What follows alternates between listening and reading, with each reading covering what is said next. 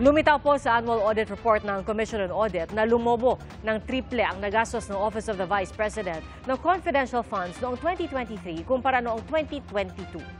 Saksi si Sandra Aguinaldo. Kung noong 2022, pinuna ng Commission on Audit ang paggastos ng Office of the Vice President ng confidential fund nito, lumabas sa annual audit report ng COA para sa 2023 na nagtriple ito ng sumunod na taon. Kung ikukumpara, gumastos ang tanggapan ni Vice President Sara Duterte ng 125 million pesos na confidential fund sa loob lamang ng labing isang araw noong 2022. Sa sumunod na taon, tumalon ito sa 375 million pesos para sa buong taon ng 2023. Ayon sa COA report, ang confidential expenses ay para sa ligtas na implementasyon ng iba't ibang proyekto at aktibidad sa ilalim ng Good Governance Program, Socio-Economic Program Delivery at Official Engagements o pagsali sa international at domestic events sa utos ng Pangulo.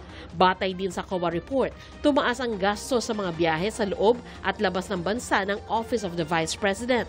Noong 2022, nasa 20.11 million pesos ang nagastos, halagang pinaghatian ni na dating Vice President Leni Robredo at ngayon bise na si Sara Duterte.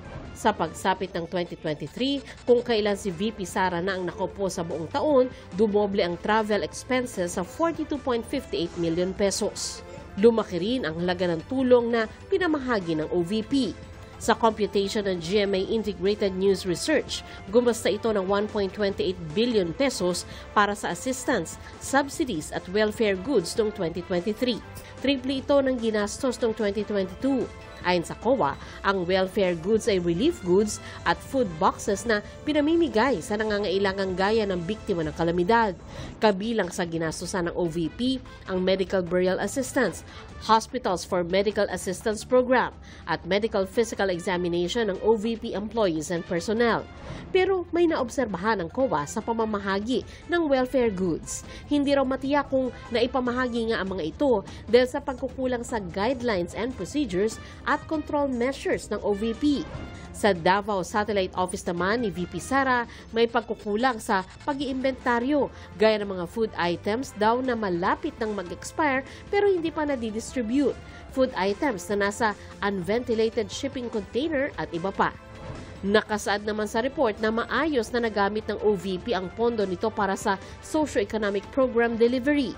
Mas mataas din daw ang accomplishments nito kaysa sa target. Hininga namin ang reaksyon ng bise kaugnay sa audit report pero wala pa siyang tugon. Para sa GMA Integrated News, Sandra Aguinaldo, ang inyong saksi.